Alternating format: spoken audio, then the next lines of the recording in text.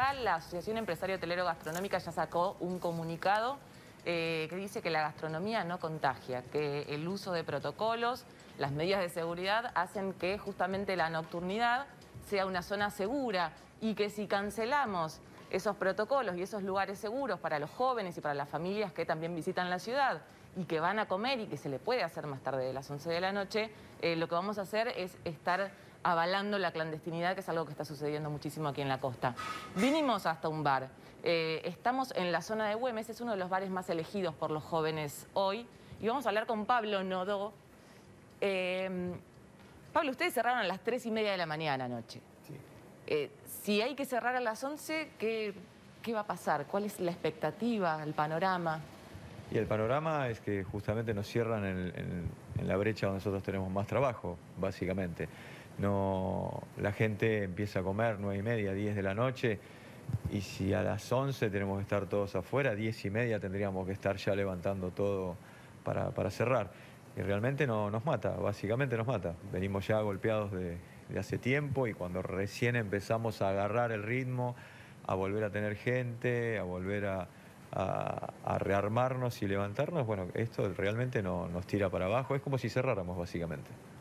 Claro, nos dice es como si cerráramos Fede Roxy, porque esto es un bar netamente, no es que abren de día, que tienen cafetería. ¿Cuál es el horario de apertura de ustedes? El horario de apertura nuestro es 19 horas. Los empleados entran a las 18, organizamos todo. Ya antes de cerrar, el día anterior nosotros eh, tratamos de, limpiar, ordenar bien y después venir para, para dejar todo preparado. A las 7 abre, pero la gente recién vemos que ingresan, si es un día lindo, tipo 9 y media de la noche, ahí recién empieza a caer algo de gente. Y, se llena el bar eh, cumpliendo la cantidad y la reglamentación, ponele 10 y media, 11 de la noche, básicamente. ¿Se llena el bar? ¿Qué, ¿Qué, se llena el bar? ¿Cuántas personas se pueden ingresar? Y ahora tenemos un máximo de, 100 personas. Ya también la gente no, no, no, se está acumulando en esos horarios. Pero tenemos un máximo de 120 personas como muchísimo, como muchísimo.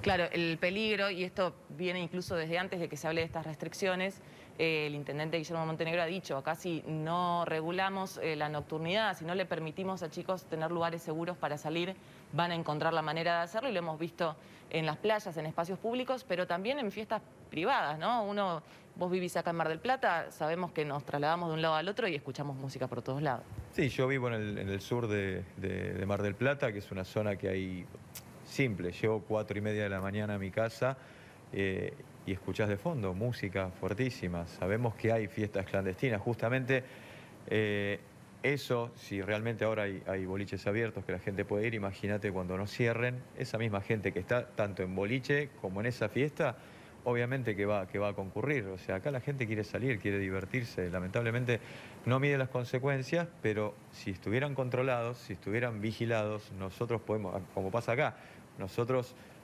vigilamos que tengan este, el barbijo puesto, eh, la cantidad de gente, la distancia entre mesa y mesa. O sea, si se logra hacer eso, sería fantástico, pero justamente cerrarnos va a hacer que se descontrole mucho más. Bien, Pablo, muchísimas gracias. Bueno, en Mar del Plata, mientras tanto, se sigue aguardando qué es lo que va a pasar, qué es lo que va a decidir finalmente el gobernador Axel Kicillof. Pero eh, los gastronómicos ya están en estado de alerta y dicen en Mar del Plata no podemos cerrar. Los gastronómicos realmente no podemos cerrar. Bueno, sí, es, preocupante, ¿no? Es lo que dicen ellos y lo que dicen un montón. Sí, muy preocupante porque la situación ya está límite.